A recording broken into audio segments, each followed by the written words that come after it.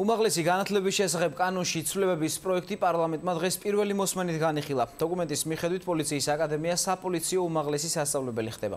შინაგან საქმეთა მინისტრის მოადგილე ლევან იზორია ცვლილებების მიზნად პროფესიონალი კადრების მომზადებას ასახელებს. ინიციატივა არ მოსწონთ ნაციონალური მოძრაობის წევრებს. პროექტის განხილვას პლენარულ სხდომაზე დღეს დებატებიც მოყვა. ნათია სონღულაშვილი მუშაობს საკანონმდებლო ორგანოში, ის ახლა პირდაპირ ეთერში ჩაგვერთვება. ნათია, რატომ არ მოსწონს უმცირესობას ეს კანონპროექტი?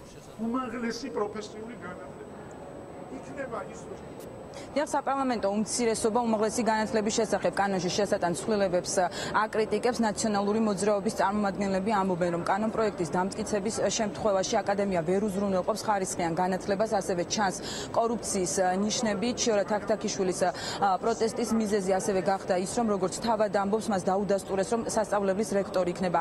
ლუკა კურტანიძე შინაგან საქმეთა მინისტრის მოადგილე ლევან იზორია კი განმარტავს რომ იმ პირებს ვისაც სურს შინაგან საქმეთა სამინისტროში იყოს მაღალ ჩინოსანი მას უნდა კონდეს სამართალმცოდნის დიპლომი და მაგისტრატურა სწორედ საპოლიციო უმაღლეს სასწავლებელში უნდა გაიაროს. ამ აკადემიამ უნდა გასცეს როგორც მაგისტრის დიპლომები, ასევე თურმე დოქტორანტურის პრეტენზიაც გაქვთ დაადასტურეთ.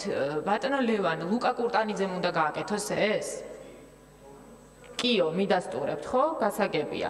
ლუკა კურტანიძე ეს არის ადამიანი, რომელზეც არის ინფორმაცია, რომ ის ცემს მწვრთნელებს ეს არის ადამიანი, რომელიც ემუქრება აზერბაიჯანული წარმოშობის საქართველოს მოქალაქეებს, რომ ის გაასახლებს მათ საქართველოსდან. უნივერსიტეტებიც არის, კერძო დაწესებულებებიც არის, სახელმწიფო უნივერსიტეტიც არის, მიიღონ განათლება იქ, სადაც მათთვის არის მისაღები და შემდეგ უკვე გააგრძელონ ის იმ კონკრეტული სპეციალური ცოდნის თუ სპეციალური უნარჩვევების მიღება, რომელიც მათ ჭირდება. თუ უკვე პოლიციის აკადემიაში თუ ეს დაჭირდება.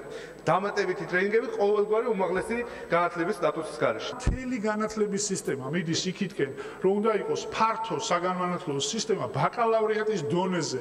ა დანაწილება რაღაცა საგნების საერთოდ არ არის ნორმალური და არ არის ამიტომ ჩვენ თქვენ უბრალოდ სისტემას ანგრევ აბარებს უნივერსიტეტში იღებს სამართალწოდნეს კვალიფიკაციას, დიპლომს, ხოლო და ამის შემდეგ აქვს შესაძლებლობა მიიღოს პოლიციური რეგულირების სფეროში მაგისტრის ხარისხი, რათა კონდეს ამის საფუძველზე შინაგან საქმეთა სისტემის ფარგლებში მაღალი თანამდებობის დაკავების შესაძლებლობა.